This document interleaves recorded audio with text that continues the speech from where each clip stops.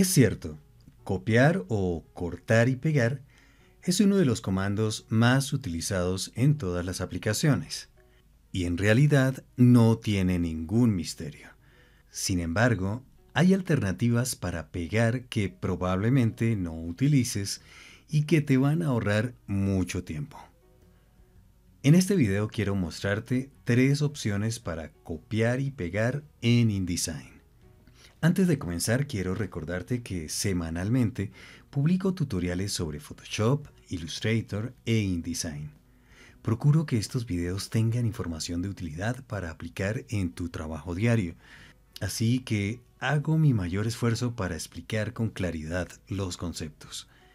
Si no quieres perderte esta información, te invito a que te suscribas a mi canal y actives las notificaciones. Comencemos. Lo usual es importar el texto de Word en InDesign. Eso es lo recomendable. Sin embargo, en ocasiones, debemos seleccionar un texto de Word, copiar y pegar directamente en InDesign. Lo que sucede es que al pegar, en algunas ocasiones, el texto pierde el formato, es decir, se anula o borra el formato local del texto, como itálica, bold o versalita.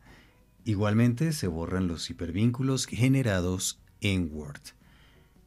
Veamos este ejemplo. Estamos en Word. Tenemos aquí un texto con formato local aplicado. Copiamos, vamos a InDesign y pegamos. Como ves, el texto pierde su formato. Para evitar esto, solo tienes que activar una preferencia. Edición, en el caso del Mac vas al menú InDesign, Preferencias, Administración del portapapeles. Y en el campo al pegar texto y tablas de otras aplicaciones, activas pegar toda la información, marcadores de índice, muestras, estilos, etc. Quiero hacer la aclaración que esta opción está activa por defecto en el programa. Además, es una preferencia de la aplicación lo que quiere decir que si abres o creas otro documento, la opción seguirá activa. Veamos otro caso. Tenemos un párrafo el cual tiene aplicado el estilo de párrafo cuerpo.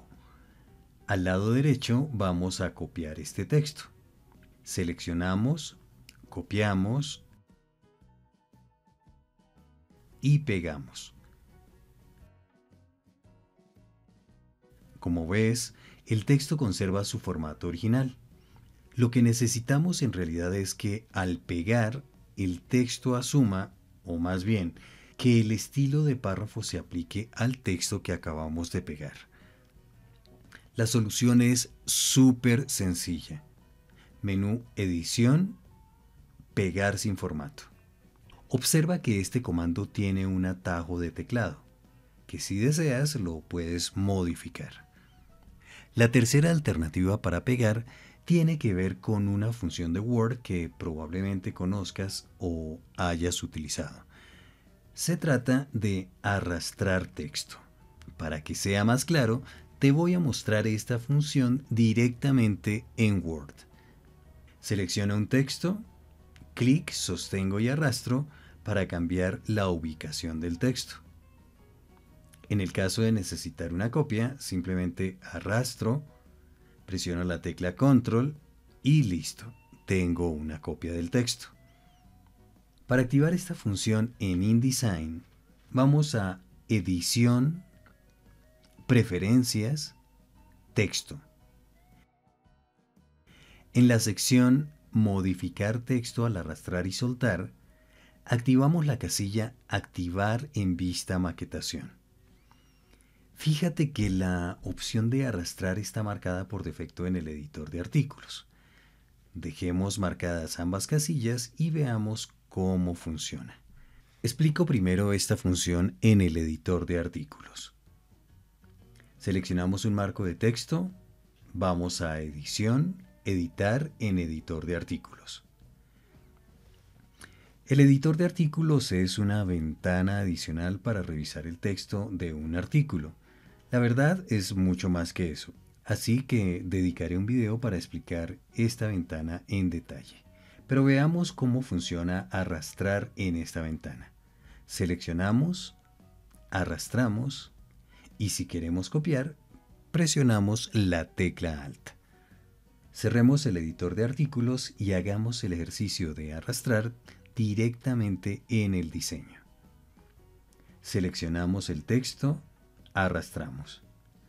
Si queremos crear una copia, arrastramos, presionamos Alt y listo. Quiero mostrarte dos opciones adicionales con esta preferencia. Primera, puedes arrastrar entre marcos de texto. Recuerda que si presionas Alt, estás creando una copia.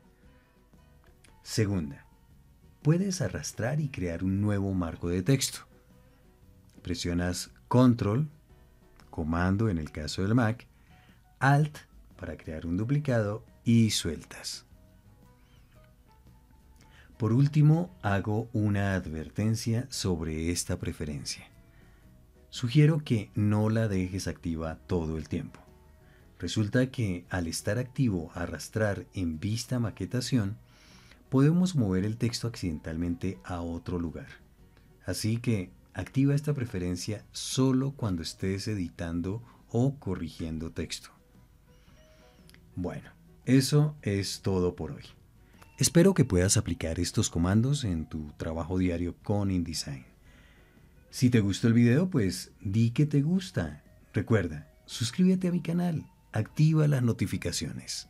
Hasta pronto.